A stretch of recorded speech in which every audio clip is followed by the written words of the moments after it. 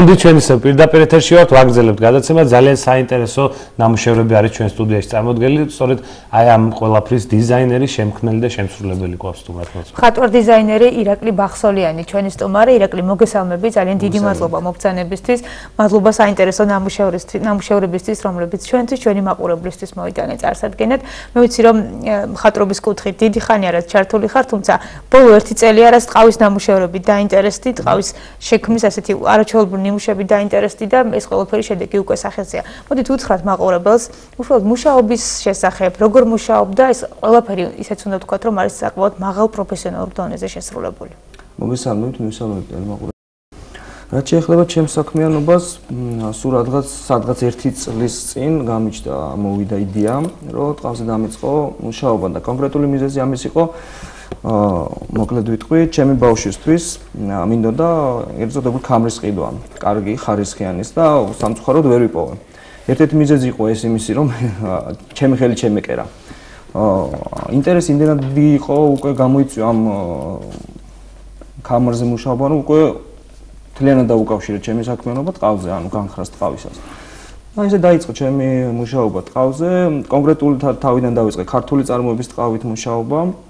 Ну საკმაოდ კარგი ხარისხის ტყავი არის და კარგად აწარმოებენ უბრალოდ ამერი მეც მუშაობ პარალელურად ამერიკულ ტყავზე რომელიც განსაკუთრებულად უფრო აი რომელი აქედან ამერიკული ტყავი აი მაგალითად აი ეს ეს ჩანთარის შეიძლება. ეს ყველაფერი ორნამენტები არის სათითაოდ ხელით კეთდება ცივად დაპრესილი და არაც ხელპრესში მოყოლილი. ეს ქალბატონებისთვის ჩანთა მშვენიერი და აი ეს არის ძალიან კარგი, ну, კარგია ყველა რა თქმა უნდა და ძალიან მნიშვნელოვანია, რომ ახალ ახალ ტექნოლოგიებს ეძებთ და ტყავის დაძველების კუთხით. გითხარით, როგორ აკეთებ ამას ირაკლი და საერთოდ მოვიდა ეს იდეა, რომ აი ეს ჩანთა დამოსულიყო ესეთი ეფექტური და მოგვარგონებს თითქოს ეს გაცრეცილი ტყავისგან არის ეს.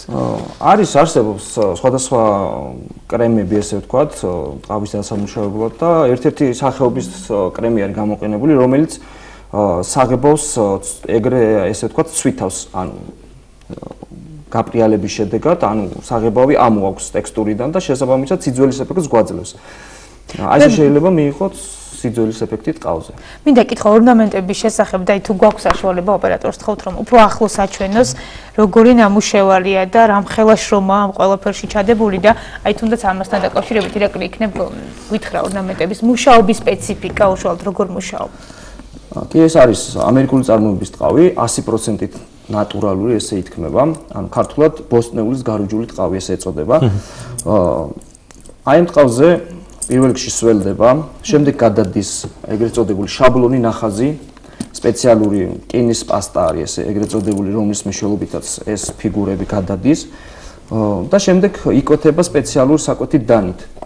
რის შემდეგ რის შემდეგადაც სპეციალური ინსტრუმენტებით სათითაოდ იპრესება ტყავი და გამოდის ესე ეგრეთ წოდებული 3D ფორმები. ან ბარელიეფი და რელიეფები როგორც ხეზე იკვეთება შესაბამისად უბრალოდ აქ არ იკვეთება უბრალოდ იპრესება ტყავი და შესაბამისად საბოლოო ვიზუალი გრჩება ესეთი იმისაც რომ თქვა როგორი შრომატებადია იმ თუნდაც მაგ პატარა ორნამენტს რა დრო ჭირდება. აა საკმაოდ დიდი დრო ჭირდება და ენერგია ჭირდება აა იმიტომ რაც უფრო პატარა არის დეტალი ან დასამუშავებლად მით უფრო რთული არის ეს შესრულება. რა თქმა უნდა და დროსაც მეც მოითხოვს. სიფრთხილეს, იმიტომ რომ ერთი არასწორი სიტყვა ვთქვათ, ინსტრუმენტის ხმარება და ჩათვალო გაფუჭებული ნამუშევარი. ყველაზე მთავარი ის არის, რომ აი მტყავს გააჩნია ისეთ განსაკუთრებული თვისება იმ ხრივ, რომ ესეც ამერიკული ტყავია ირაკლი. ეს კი ამერიკული ტყავია. თვისება ისეთი, რომელთაც შეგიძლია ყველაფერი გააკეთო აბსოლუტურად. როგორც ეს რომ მოვაჩუქურთმოთ, აა შეგვიძლია შევღებოთ სხვადასხვა ფერზე, ანუ შეგვიძლია მიცეთ სიძველის ეფექტი, შეგვიძლია მიცეთ სიპრიალე, სიმატოვი, ანუ აბსოლუტურად ყველაფერს აკეთებს და გაძლევს ამის საშუალებას. და ქართული ტყავიც უნდა ვახსენოთ, რომ ქართული ტყავშიც მუშაობს. ქართული ტყავზეც მუშაობ, უბრალოდ ქართული ტყავზე შეუძლებელია უბრალოდ ესეთი რაღაცების გაკეთება, იმიტომ რომ კონკრეტულად ეს ტყავი არის აი ამ განხრისთვის შექმნილი. ადვილად მართვადია უფრო ამერიკული ტყავი. აი ეს რა მაინტერესებს, წეგან თქვი რომ ბავშვისთვის დაიწყე კამრის გაკეთება და შემდეგ უკვე შეიქმნა ესეთი მაღალი დონე ჩვენის ნამუშევრები. საიდან მიიღეს გამოცდილება? გვესმის რომ ხატვარი ხატვარი ხარ და ფერწერის და გრაფიკის კუთხით ძალიან დიდი წარმატებები გაქვს, მაგრამ ეთყავზე მუშაობას ხო რაღაც განსხვავებული სპეციფიკა ჭირდება. როგორ მიიღეს გამოცდილება? სად ისწავლე? აა სა თვითნასწავლი ვარ, მაგრამ ჩემს დიდი როლი თამაშა ინტერნეტმა, ანუ სოციალურმა ქსელმა. სწორად გამოყენება მესე მინდა თქვა. აა როცა გავიგე ამ ტყავის არსებობის შესახებ სოციალურ ქსელიდან, დავინტერესდი კონკრეტული საკითხებით, ანუ რა, როგორ და რანაირად შეიძლება ამ ტყავზე მუშაობა და საკმაოდ დიდი როლი ითამაშა ამ ჩემი საქმიანობის განვითარებაში ინტერნეტმა, ანუ ინფორმაციას ვეძებ ყოველ თუ შეხება მოქვს ინტერნეტთან, მაქვს მხოლოდ ამ საქმიანობასთან დაკავშირებით და ვეძებ კიდევ და ვიღრმავებ ცოდნას, რომ რა შეიძლება მეტი ვისწავლო. და ისევ ну, ჩვენ საქმე შემოწმოთ. პროცესში ვარ ისედაც ჯერჯერობით კიდევ და ვიღრმავებ ცოდნას ინტერნეტის დახმარებით, ესე ვთქვათ. ჩანთები, კამრები, ასევე სათვალის ჩასადებს ხედავთ და ქალისა და მამაკაცის აქსიურ საფულეები და რა იქნებ გავხსნათ რამდენიმე და ვაჩვენოთ ეში. შიგთავსი როგორია? აი საფულე, so, ნაკლებად დატვირთული მამაკაცებისთვის. ანუ აქ შეიძლება ჩაიდო ჩეულებრივად ქაღალდის ფული. აქაც გვაქვს საშუალება რომ იგივეთნაირად ჩაიდოს. აქ ჩაიდება კარდ კარტები, ესე ვთქვათ, პლასტიკური ბარათები. იგივე შეგვიძლია აქაც არის და ხურდების გაყოფა. ეს ყველაფერი ხელით არის გაკეთებული. კი, აბსოლუტურად 100%-ით ხელით ნაკეთი არის. აბსოლუტურად ნაკეთის ხელით იკეთება. არანაირი ელექტროდანადგარი აქ არ იხმარება.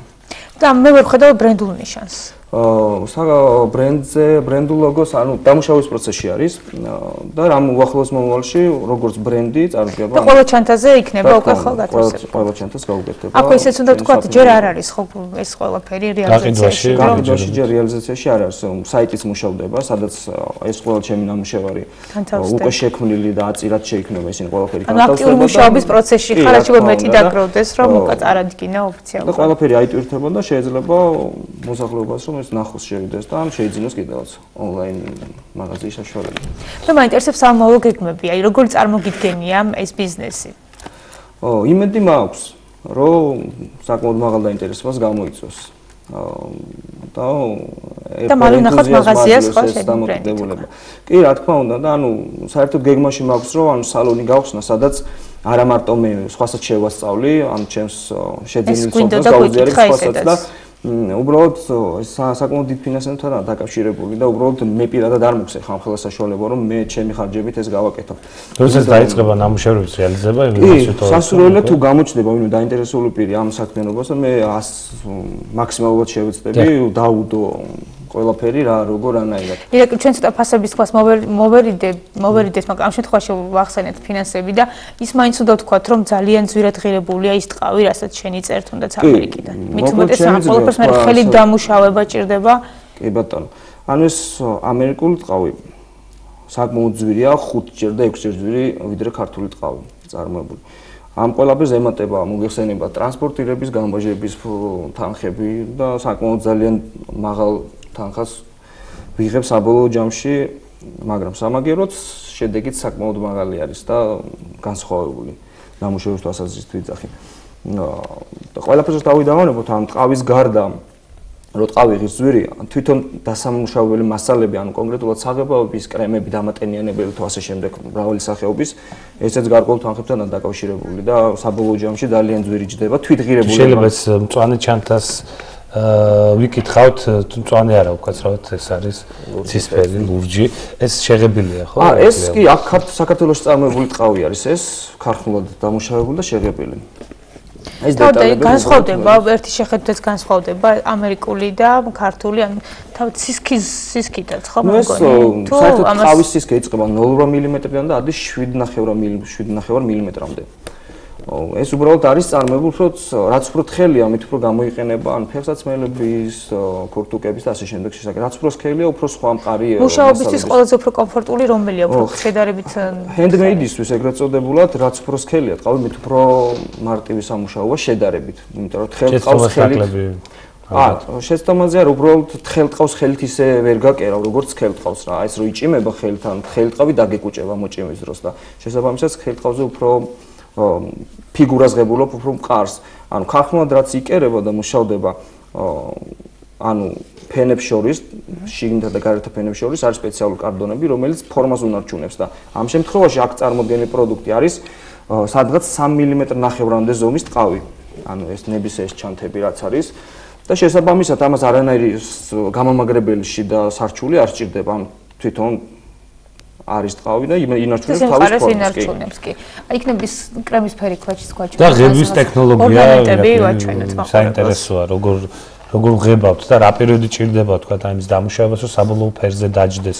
ანუ დება რამდენიმე გზის გადაღება თუ კი, რა თქმა უნდა, მოგახსენებთ, ანუ როცა უკვე სიტყვაზე ვთქვა, ნაკეთობა გაკეთდება, ან ჩუქურთმები ესე ვთქვა, ამოიტვიფრება კონკრეტულად ამ თვალზე. საგებავის მიღება ხდება. ძალიან მარტივად, ანუ დიდ დროს არ მოითხოვს, უბრალოდ ჩვეულებრივ საგებავს იწოს, ანუ ჩვენ შეგვიძლია საღებავი მივცეთ ანუ ფერის სიმუქე რა რა დონეზე გვჭირდება რა შეგვიძლია ძალიან მუქად დავსვათ ერთი ფერი შეგვიძლია ღია ფერზე დავსვათ. ეს უკვე თვითონ პროცესია დამოკიდებული ანუ სურვილი რა გინდა მუქი ფერი მიიღო თუ გინდა ღია ფერი მიიღო. შემდეგ როცა ფერს დავადებთ არის სპეციალური სითხეები რომელთაც აპრიალებ ამ თავს ანუ ზედმეტ საღებავს იღებს ზედაპირიდან რომ შემდეგ გაშრობის შემდეგ მოხმარების დროს საღებავი არ გადმოვიდეს ესე ვთქვათ ტანსამოსზე ან ხელზე არ გადაგვიდეს და ასე შემდეგ რა. აი საღებავის მოწმენდის შემდეგაც არის სპეციალური კრემები, რომელიც შეიძლება დაარბილო ტყავი, შეიძლება გაამაგრო ან ფორმა შეუნარჩუნო და ასე შემდეგ რა.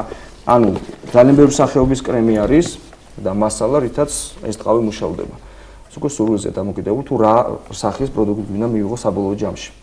ერთი შეხედვით ჩანს რომ ძალიან მაღალი დონის პროდუქტია რომელიც უკვე რომელიც რომ შედეგიც უკვე გვაქვს ირაკლი. და მე უსურვებ ირაკლისო არა მარტო ინტერნეტ მაღაზიებში არამედ ევროპის დიდ ქალაქებში გვენახოს შენი საფირმო მაღაზიები. მე მარტო ალბათ ასეც იქნება იმდენად ესეთი საოცარი ნამუშევრები დაიწყე რომ სამმაუო ჟამში უკვე თავი მონდოება შრომის მოყოლება რაც არ გასულია ეს შეღებილია მაგალითად. ეს ეს ტყავი არის ქართული წარმოებისა ეს ტყავი ესეც ქართულად დამუშავებული და შეღებილი არის დაძველების ეხა აგიხსნით მოკლედ.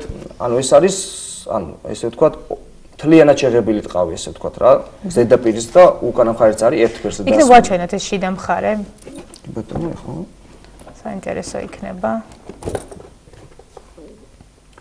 ანუ როცა ტყავს სიტყვას ვთქვათ გარედან აქვს სხვა ფერი და შიგნიდან სხვა ფერი მაგ შემთხვევაში ეძახიან ან მარტო ზემოდან შეღებილი არის მიცემული აქვს აღებავი და სარჩუზე შეიძლება ან შეღებო ან სარჩული გაუკეთო სხვა გადააკრა უბრალოდ რა. ამ შემთხვევაში ამ თავს არ დასჭირდა იმიტომ რომ თლიანად ერთი ფერის არის და უბრალოდ არც არ ითხოვს ამ შემთხვევაში თქო.